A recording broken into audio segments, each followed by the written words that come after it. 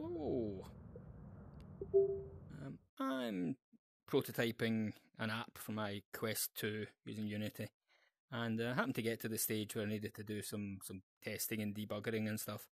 And Ultimate XR um, released 0.8 this week, so um, I thought I'd have a look at using that because that framework, although it sits on top of the Oculus integration in my case here, um, uh, just seems a lot more friendly and, and intuitive than the, the actual Oculus integration um, SDK itself, which you know works, but it's it's just it's like pulling teeth sometimes.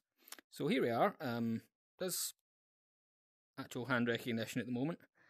Um, doesn't do interaction with objects like that yet, but it does do UI. So you see here I've just switched on Engine A with my finger, switched off Engine A with my finger. Um, so I'm sure um, actual finger interaction is on the way. I'm going to pick up my controllers. Oh, perhaps you can hear the ice cream van coming. It's a very hot day today. Um, yeah, so that's the controllers. You press some buttons and they they look like and behave like hands. And again, you can switch on engine A, switch off engine A. But um, basically, try it all out. I wanted to, to build a steering wheel. It came up in the Discord, and um, it was really straightforward. So I put a grab point at the 10 o'clock position and the 2 o'clock position, and you're going to both at once. I've told it to stop at minus 70 degrees and 70 degrees. That all works. Um, similarly, I've got a wee throttle control here. That just goes forward and back. Um, so if you have a little look at the uh, CCTV type thing here, uh, I'm going to switch on engine A. And this little ghost car will drive. So I'm giving it some throttle. And I'm steering it. And I say car, it's, it's more like a hovercraft. I didn't want to confuse things anymore with wheel colliders and all the rest. So here she comes. Oh, don't crash. Right, there you go again. So that does everything it should. And this is set. You can do the whole white guys drive like that, blah blah blah. Uh, oh, back a bit. Uh, the, the, the, all works exactly as we would expect and hope. It was really straightforward. Um, however, if we turn off engine A, turn on engine B, it's this one, we start to move.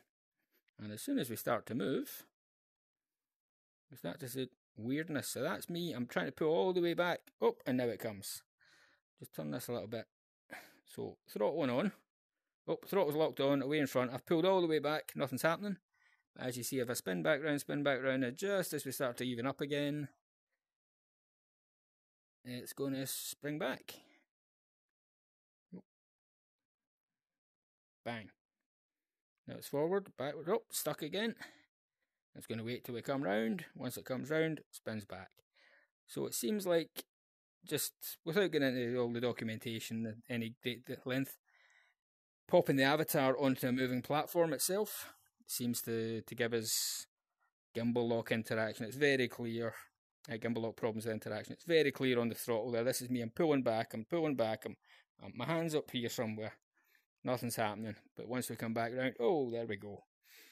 Um, but if you turn off this engine, forward, back, forward, back, no sticking. Same sort of things probably happening with the steering. It's just obviously a lot more difficult to tell what's going on with the steering. Um, I think that's what the problem is. Right, engine B. See if we can get this car to come back to us. Right, it's up there. There you go, there you are. Come on. Oh, doing donuts. Yeah.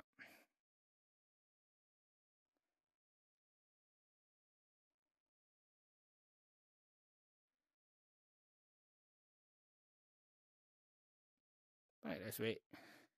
Look, hovercrafts are really difficult to drive, okay? I speak from real world experience. Whee! Come on, over this way.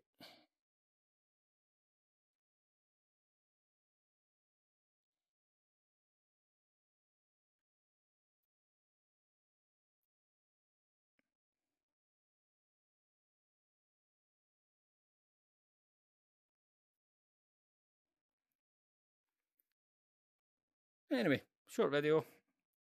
Um, I'll go figure out how to make it happen. Bye.